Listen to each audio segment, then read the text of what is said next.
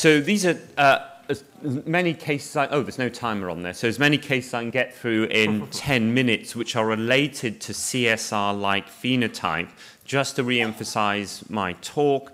Um, so this is a 37-year-old uh, highly myopic female, poor vision in the right eye for years, um, and was previously diagnosed in the left eye with recurrent CSR. Um, and this is the color pictures, the right eye with a chorioretinal scar, and the left eye with some sort of pallor at the macula. And this is the uh, red frieze and the fluorescein showing some sort of oozy leak uh, at the macula in an ovoid shape. Any thoughts from the audience? So just the history may help. So right scar, left history of recurrent CSR, Anything else you clues in the fundus appearance? No? Okay. Or the red frieze? So this is the uh, OCT, and they were referred by a colleague who'd given them anti-VEGF. So remember what I said about double layer sign? Not that I like the term.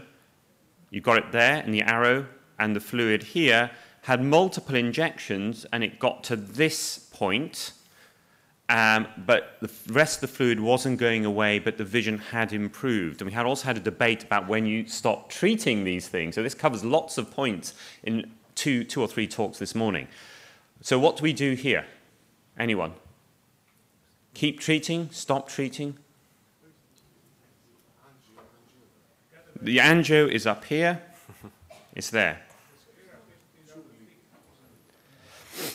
Is the sclera thick or something else? Is the patient symptomatic? Yep, okay. Mm. Is the sclera thick is a good observation, but it's not totally correct, but in the right ballpark. Mm. Mm-hmm. You're, you're warm. Keep going looking below. We're talking, remember, we're talking about, I was talking about pachychoroid this morning. Mm-hmm. Yeah. What's the reverse of pachychoroid? What's, what's Greek for thin? Leptochoroid. Now let's talk. Yeah, let's just use the term leptochoroid.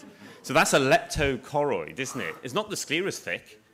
The choroid's thin. So if you've got a thin choroid, what, why, why do people have such leptochoroids? We'll have to. Yeah, high myope. Okay. So do we carry on treating? We're talking about myopic CNV and we talk about pachychoroid. Yep. Anything else? Okay. No. So what makes you feel that this is CSR? I'm not. I, am um, so. There, it's not res responding. So we know that some C, some patients with neovascular AMD, the fluid just persists. Is should we stop treatment or should we carry on treating? So this is before treatment, fuzzy border, double layer sign. This is after treatment. So remember, we had a history of recurrent CSR. The leading you through it. What, anything else to clinch the diagnosis? One test answers this diagnosis. Very, didn't do an to see if there is any... There, uh, we didn't, this was, I think initially we didn't do it, but it, it was a CNV and it responded. But mm. if we had, I, I, it would have shown a, a net there, if we had had one. So simple other test. One simple test and you'll get the diagnosis. Well, ICG, I've given you all the clues. Do you have an so, ICG? Um, do we have an autofluorescence there? No. So that's the fluorescein, red freeze, and the clues are there. No? Okay. So they've given more anti-VEGF injections, still look the same, but the clue is this. Um, so look at the shape of, let me get, get this out here. This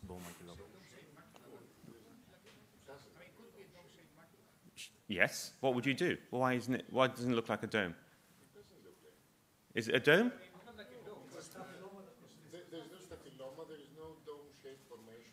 Yeah, but there's a thick, uh, thick sclera. Okay, you're getting there. So, so it's this. So you've got a horizontal, so not all domes are domes, they can be ridges. So if you're walking across a ridge, it looks flat. If you're going in that direction, it looks flat. If you're going the other direction, it looks steep. So you, when you, you just do a six-line scan, you scan the other direction. In fact, the clue was in the pallor. There's a horizontal ah. pale ridge. And so the reason had recurrent CSR was actually had dome maculopathy, and they developed CNV. And you can see beautifully the slightly, slightly thickened sclera at the apex of the dome, a slightly thickened choroid at the apex of the dome, and the thick sclera. The vision had come back, and they had a history of recurrent CSR, and they were reading again. So we kind of held treatment. They have re reactivated multiple times since. But anyway, nice, that's just a little clue. Dome, uh, not all domes are domes. It could be a ridge. In fact, there could be angles. And you get these at the edge of staphylomas, any acute change in shape. Four minutes left. Right, next case. uh, we stopped. We just monitor them as per C myopic CNV. Um, and they get, they've had multiple repeat treatments. The patient knows they have a drop in vision and another injection comes straight back. I still live in fear. You can see how thin that uh, choroid is and macula. Mm. So, um, and the patient's still reading. And so if we can get their vision, so again, it's that point when they get the CNV, something alters in the constituents of the fluid, in the subretinal fluid, and their vision drops. You inject them, the vision picks up, even though the fluid is still there, like a, a CSR patient. And they've had it for years, and they don't have distortion. Sure. So, um, no, so no, in, in the study that we, yeah, no, we don't say it's thick. Remember, these are myopic patients, and the relative to the, so in the study that um, uh, Marie Restori, the ultrasound from Moorfield, did with, uh, Marie-Hélène, our fellow, we did ultrasounds. Um, there was localized thickening under the fovea, but they're myopes, so it's thin anyway, so it's relative to the other. I, um, the, the surrounding sclera.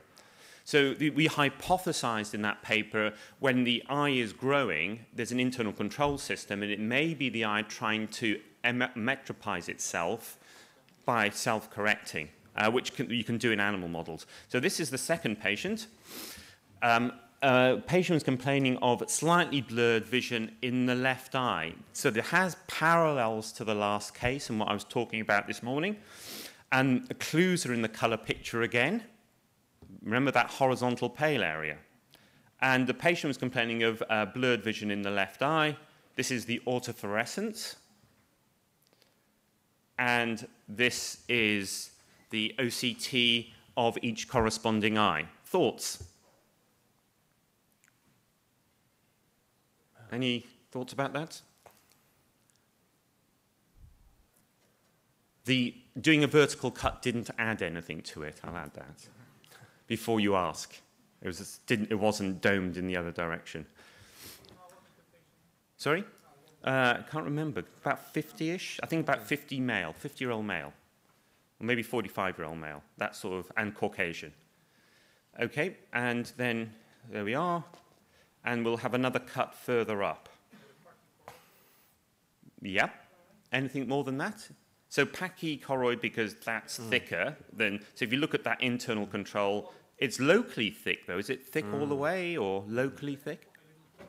Sorry? I think that's a very good differential diagnosis. Could this be polypoidal associated with pachychoroid? Uh, that would probably be a little too boring, even though I said it's reinforcing my talk. And so let's have a look at the ICG. No, no, no, it's good. So for, we, did, we did the ICG to look for polyps. We agreed that that was a possibility. And the ICG tells us everything. Ooh, uh... Thoughts? Name? I think... Um, yeah, polypoid. Mandeep, I think you're collecting a series of these, aren't you? I think this is contributing to your series, but this is the only one I've got that actually leaked.